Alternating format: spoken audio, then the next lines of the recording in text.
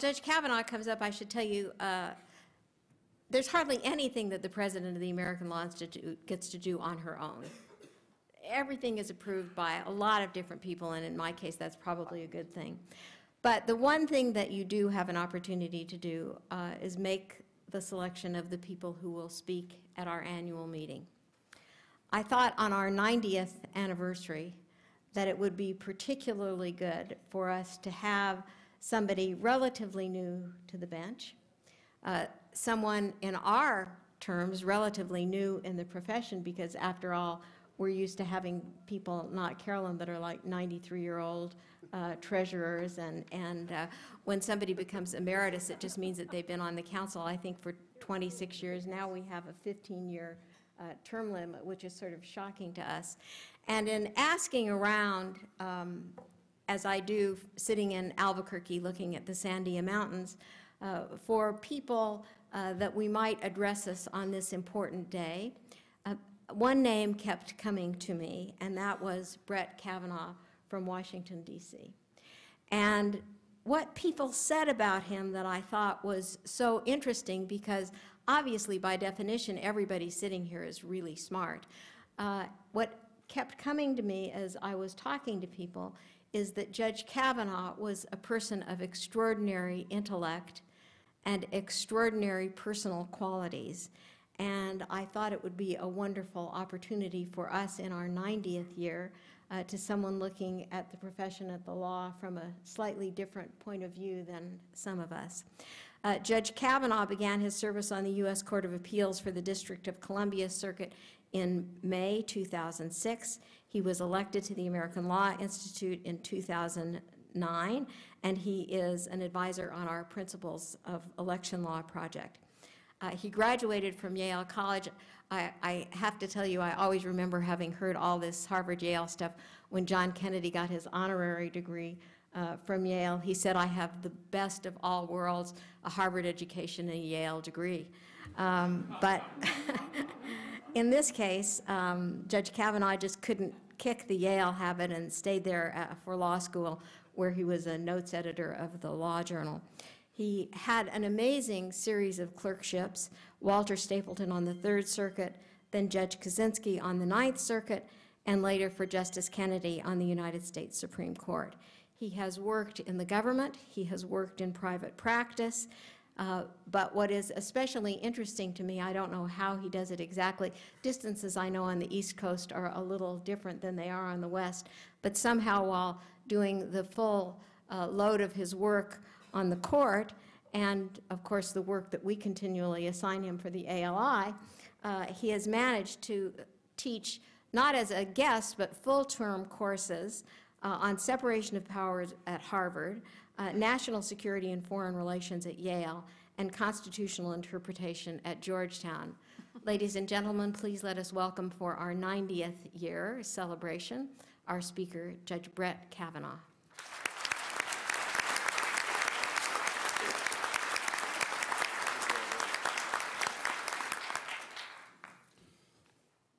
Well, thank you, Roberta, for your uh, very generous introduction. Roberta is pretty amazing, as we all know, and her contributions to the profession uh, and to this institute are enormous and continuing. So thank you for all of that. I also want to thank Judge Paul Friedman of the District Court here in D.C., who is on the council of the American Law Institute, for his role in my appearance here today. Paul is a great and wise judge, and among the many wonderful things I've learned as a federal judge here in D.C. is the uh, great ability to make relationships with other judges in our courthouse. And so we have this judge's lunchroom where many of the district and circuit judges eat. And Paul and I are regulars, and we talk about the events of the day and gossip about lawyers and talk about sports and what's happening on Capitol Hill, and it's all great fun. We don't talk about pending cases for obvious reasons, and but still, after reversal of the district court, Court of Appeals judges tend to avoid the lunchroom for a few, a few days. It's not ideal to eat lunch with someone when you've just publicly said that they abused their discretion. so on those days, a peanut butter and jelly at the, at the desk is just fine. Of course, it's relative bliss on those days where the district court has been affirmed. If an uh-huh. appellate judge wants to be compared to Learned Hand or John Marshall, and really, who doesn't? Then those are the days to appear in the lunchroom. As Roberta and Paul know, I am humbled and honored to be with you today at the American Law Institute. This is quite simply a bedrock and essential part of the American legal system. The Institute pursues clarity about what the law is and seeks progress about what the law should be. And I'm proud to be a member of the American Law Institute. The Institute's also a model for civil discussion and debate, which is so needed uh, um, in all three branches of our federal government here in Washington. And th- in thinking about civility, people ask me about how we get along on the DC circuit, and we do get along. A court is like a large family. Of course, some large families are dysfunctional, but our, our court uh, gets along well. And I thank uh, Judge Edwards and Judge Ginsburg and Judge Sentelle and now Judge Garland, our last four chief judges, for really making our court work well together. And now that Judge Garland has taken over as chief, uh, chief from Judge Sentelle, it's nice that we don't have to wear cowboy hats to curry favor with the chief judge any longer. Now, I compare civility in the ju ju judiciary sometimes to civility in my prior job. I worked in the White House for five and a half years, and one time I was with President Bush in Portland, Oregon, and he said to me and a few other staffers as we went through town, You know the odd thing about Portland? We said, No, what, what's that, Mr. President? He said, Everyone here seems to have only one finger.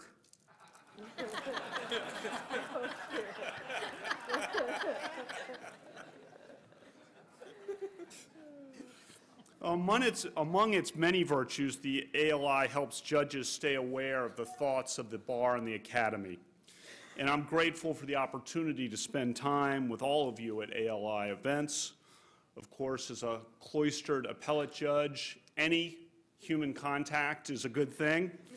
The day the president signed my commission, I immediately went up to the Supreme Court, and Justice Kennedy swore me in a little private ceremony, and Chief Justice Roberts was there, and my family, and that was it.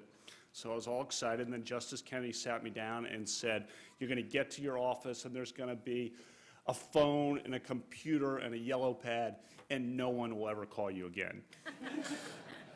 so he told me to get out, to get involved, to teach, uh, to get involved in bar activities, and that's one of the reasons I've so enjoyed and was so inspired to become part of the American Law Institute. Of course, from the other direction, the, the ALI helps judges explain and demystify the judicial process to practitioners and academics. I think the law and the bar are poorly served when the judiciary is too cloistered, when the judicial process is too much of a black box. Of course, one humorous aspect, I suppose, of being a judge is how people treat you when you run into them outside of the courtroom.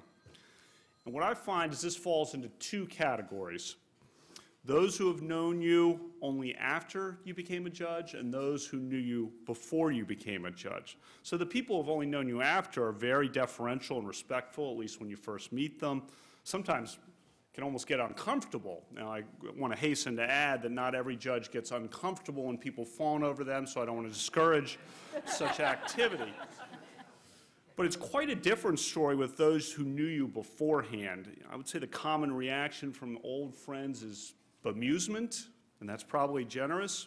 When someone I'd known for a long time was arguing before me recently, I told my clerks afterwards, I said, that was a really hard argument for the person to do. And my clerks asked why. And I said, it's really hard to argue when you're thinking the whole time, I can't believe this guy is a federal judge.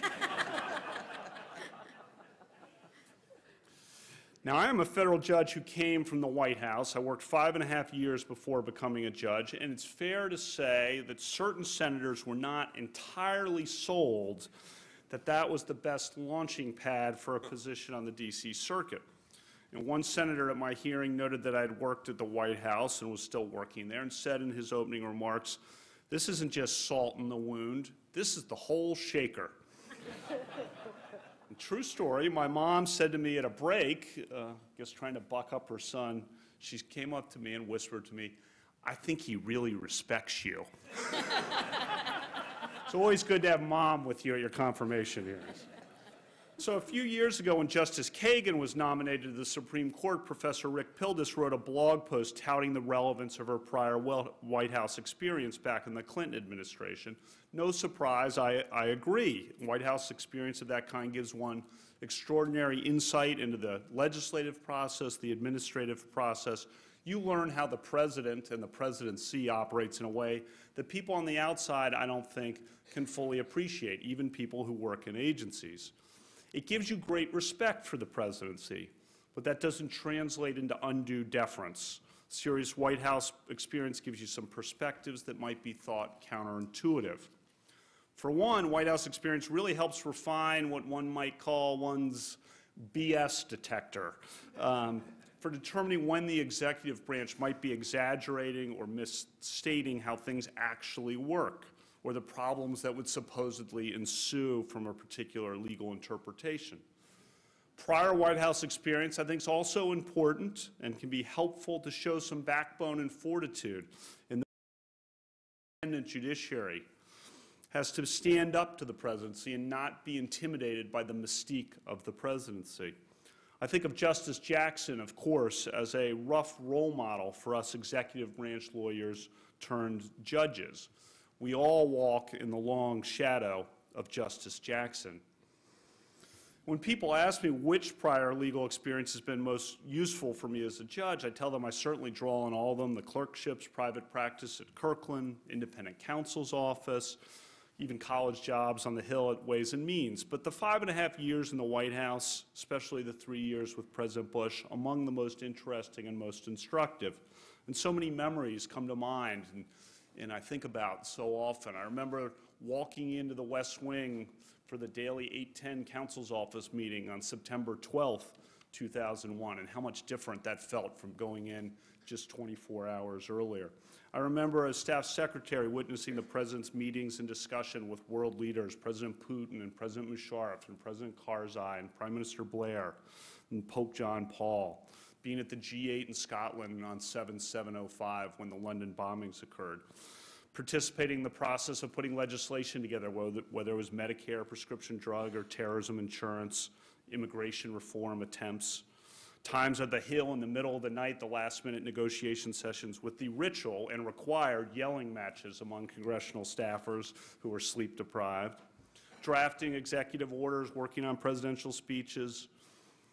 And you see regulatory agencies screw up on occasion. Gather that still happens on occasion. I saw how agencies try to comply with congressional mandates. I also saw how agencies sometimes try to avoid congressional mandates. Saw the relationship and odd dances between the agencies and the White House. I saw the good and bad sides of a president trying to run for president and be president at the same time. I met Americans from all over the country, all of us did who worked there as we traveled, families of fallen soldiers and small business owners and farmers and cops and new immigrants. Talked to the president and was able to participate. How, how should he pick someone for the Supreme Court? I remember a few days after Hurricane Katrina, easily the worst week that all of us experienced working in the White House. And that late that Saturday night, sitting on my couch, when Dan Bartlett, the communications director, called and said simply, Rehnquist died. Boss wants to meet at 7 o'clock tomorrow morning. And I sat on my couch at home just thinking about the enormity of all of that. And it was not apparent to me at the time, and I'm certainly not disinterested, but it seems to me those experiences helped make me a better student of the administrative process, a better interpreter of statutes. Now, appellate judge, completely different. As far away, as I mentioned, as you can be from the frenzied, emotional, chaotic world of a White House staffer. I've been on the DC circuit for seven years now, and after seven years, I can end the suspense and say that FERC cases are still FERC cases. but it's a huge honor, uh, and it's a huge responsibility, and I know it has real-world consequences for the lives and liberties and property of the American people. And so in the spirit of bench and bar interaction, I thought I would touch briefly on three ideas, three issues that the combination of my experiences in the White House and the combination of my experiences as a judge have led me to think that judges and practitioners and academics should be thinking about. And the connective tissue to these three ideas is to help establish firmer ground rules for particular legal endeavors before those rules are applied in particular cases. A basic, as we all know, basic rule of law value, and also something that helps avoid the partisan and ideological squabbling that can occur when you're trying to create the rule at the time it's being applied. So first, at least by the time the next presidency gets going, I think the confirmation process for Federal Court of Appeals and District Court judges should be fixed so that it provides for a vote within a set period of time. Why do I think that? When I worked at the White House, I worked on judicial nominations. And the breakdown in the Senate confirmation process was, for lower court nominees, was really in full force at that time. Nominees were held up for years without hearings or votes. Of course, much the same thing had occurred in the Clinton administration, and some of the same thing is occurring now in the Obama administration. You think about the examples of John Roberts and Elena Kagan and their stalled nominations to the D.C. Circuit. It was easier for them to get confirmed to the Supreme Court than to get confirmed for a lower court. That's crazy, but it's true. So the process for lower court nominees is too drawn out, and the delays are not right to the individual nominees, and that creates systemic effects. It, it, deters good people from wanting to be judges. Who wants to have their private practice held up for a year or two and lose clients while they're facing an uncertain Senate confirmation uh, process? The dysfunction means that seats are vacant too long, meaning that courts are overburdened uh, and causes delays in our system of justice. And there's a better way, as President Clinton and President Bush both suggested, and President Bush talked about in some detail in various speeches, the executive branch and Senate should work together on ground rules that will apply no matter who is president and who controls the Senate. In other words, Democratic president, same rules as Republican president. Democratic controlled Senate, same rules as Republican controlled Senate. There are four permutation, the rules should be the same for all four permutations. So my starting suggestion would be that the Senate should require a vote on all judicial nominees within six months of nomination. It's not my place to say whether that should be the 60 vote uh, requirement or a 51 majority vote requirement, but I do think that a time limit is essential to bring to a close the process of a nomination of a federal judge. It'll help fill vacancies more quickly. It'll help encourage more good people to become uh, part of the judiciary, which the judiciary needs. I don't want to inject myself into current events, and I realize changing the rules in, a, in the middle of a presidency is sometimes skewed because incentives are skewed by the by the new, how the new rules would apply. But at least by the time the next presidency gets going, it's time for the executive branch and the Senate to work together to bring some regularity to those, this process. Second, most of the challenging legal issues today are questions of statutory interpretation. So we should work hard to ensure that the ground rules of statutory interpretation are as clear as possible before we must apply them in the context of controversial litigation. Now, in our court, the bread and butter is to figure out uh, whether an agency exceeded its statutory authority or statutory limits. The most important factor is the pre precise wording of the statutory text. If you sat in our courtroom week, for a week or two and heard case after case, and I don't advise that for anyone who wants to stay sane, but if you did that, you would hear judges across the ideological spectrum uh, asking, what does the text of the statute say? What does the text of the regulation say? Now, this is in large part attributable to the influence of Justice Scalia on statutory interpretation, but it's also because both formalists and functionalists have come to realize the centrality of text to statutory interpretation.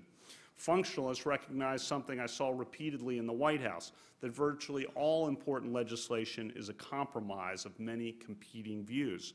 And we upset that compromise when we don't follow the text. Professor John Manning of Harvard has done landmark work on that precise point. But to say that the text is important, which all judges agree on, that it's important, or that it's primary, still leaves a number of questions. How best to interpret the text? There are canons of interpretation. Some are semantic canons, the canon against surplusage or the ejusdem generis canon. They're the substantive canons, such as the constitutional avoidance canon or the presumption against extraterritorial application. These canons of interpretation are hugely important to day-to-day statutory interpretation. Just think a few weeks ago, a huge alien tort statute case. It came down to how do you apply the presumption against extraterritorial application? Or consider the constitutional avoidance canon. Most people think that the main disagreement in the healthcare cases between Chief Justice Roberts and the dissenters was on the question whether the tax clause justified the individual mandate. But if you actually look at the opinion, Chief Justice Roberts agreed with the dissenters that the individual mandate provision, as written, was not justified by the tax clause. But the Chief Justice went on and said that the statute could be construed not to impose a mandate, but rather just a traditional tax incentive of the kind we have with cigarette taxes and mortgage inter- interest deductions and the like. He relied on what? The constitutional avoidance doctrine to interpret the individual mandate that way. And the dissenters disagreed that the constitutional avoidance doctrine could be used to stretch the statute so far from its terms. For all the ink that's been spilled about the healthcare cases, very few people seem to appreciate the source of the main disagreement between the Chief Justice and the dissenters, how to apply the constitutional avoidance doctrine. It's of course better when the ground rules of statutory interpretation are fully settled ahead of time. And I want to quote someone who lamented the lack of accepted ground rules to interpret statutes. He said that statutory interpretation involves inconsistent practices on a variety of vexing questions, including, and he listed many, including how far will we go to construe a law to avoid raising a constitutional question? And that man continued, it would help if we could have general acceptance by the bench as well as the bar of a few basic principles of statutory construction. Perhaps this institute, he said, could devise a disinterested restatement that would commend itself as an acceptable standard for enactment by Congress or for application by the courts. And that was Justice Jackson speaking to the American Law Institute in Philadelphia in May 1948. And the void identified by Justice Jackson persisted for decades and decades thereafter. And it's been filled well now, but only recently, by Justice Scalia and Brian Garner in their book last year called Reading Law, a book that really should be on the shelf of every judge and every lawyer. And their extraordinary work identifies and explains 57 canons of construction. Now, this is probably obvious, but their views about how some of those canons should be applied was bound to be contested, and it has been contested as to some. Professor Bill Eskridge's recent piece in the Columbia Law Review questions a few of the canons application as discussed by uh, Scalia and Garner. And in very important new scholarship, Professor Abbe Gluck of Yale Law School has pointed out that congressional staffers are attuned to some of the canons identified by, by Justice Scalia and Mr. Garner, but not to others. To take one example, Courts often apply a surplusage canon that words in a statute should not be interpreted to be redundant. Turns out that members of Congress want to be redundant. Redundancy, in the words of Shakespeare, helps a speaker to make double sure. In plain English, we often use redundant words to be sure and leave no doubt. Extra credit for those who got the joke there. Anyway, and beyond that, Congressional staffers often purposely use redundant terms to make sure that all bases are covered to satisfy interest group and executive officials. So why do courts continue to use the surplusage canon? Good question. But those examples, those questions are why I think people in this room can make a difference, either individually or as part of this institute. Justice Scalia and Brian Garner have helped fill the void identified by Justice Jackson to this group in 1948. But to the extent there are lingering questions about certain canons, we should all endeavor to continue the dialogue and reach greater consensus over time. Justice Jackson said that this issue is worthy of any effort you might deem proper to make its eventual solution more likely and more immediate. I agree, so I would say let's keep working to make the ground rules for statutory interpretation as clear as we can. Third and final point relates to war.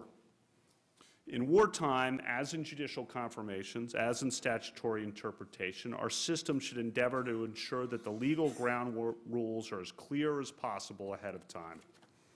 Perhaps the most significant cases that come before our court, before any court, are those that involve the national security and foreign policy of the United States.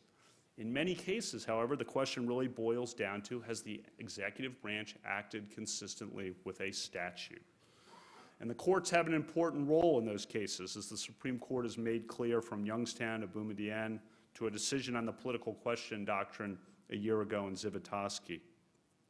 Some, of course, have argued that even if the courts are involved, there should be extreme deference to the executive.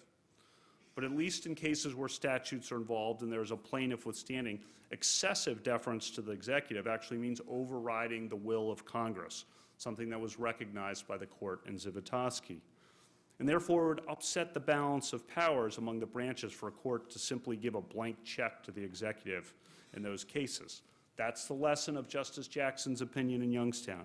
It's the lesson of the Supreme Court's 2006 decision in Hamdan.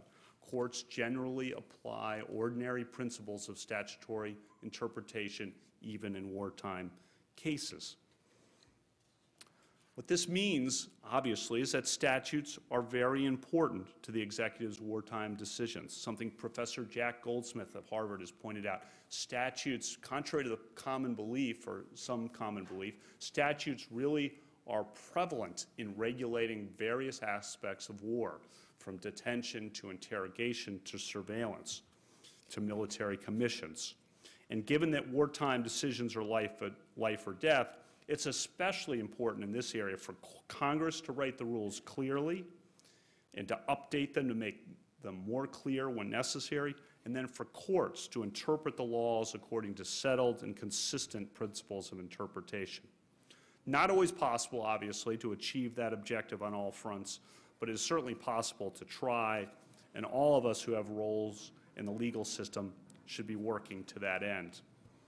So in closing, having mentioned war, and knowing this is the American Law Institute, we don't dwell on it, but we are a nation at war with great challenges for the legal system. When I worked at the White House, I saw the difficulty of the job of president, who has a particularly important role, obviously, in wartime. I'm aware of that responsibility and the burden that comes with it. Before his 2004 address at the nominating convention in New York, President Bush was doing a last run through that afternoon in the hotel room of his speech. As I recall, there are a few people in the room, Mike Gerson, Dan Bartlett, myself, and the speech was pretty well locked down. The president was just doing a last practice run to make sure everything was exactly as he wanted it. And we were all reading our drafts on paper as he was reading it out loud. And anyway, towards the end of the speech, there was a passage that read as follows I've held the children of the fallen who are told their dad or mom is a hero, but rather just have their dad or mom. I've met with parents and wives and husbands who have received a folded flag and said a final goodbye to a soldier they loved. And as President Bush finished reading that sentence in the hotel room, there was a pause. And after a few seconds, I looked up, all of us did, as we were reading the speech, and President Bush had stopped because he was choking up. And of course, being President Bush, he immediately said, Don't worry, I'll get it, I'll straighten it out tonight. But in that moment, and in so many others, I remember thinking of the enormity of the responsibility the president carries. I always think of that when I observe President Bush, and I always think of that when I observe President Obama. I thought of that in Dallas a few weeks ago when I saw five presidents, the five living presidents, on a stage at the Bush Library. So seeing that, I will think always that what unites us in America is far greater than what divides us. Thank you.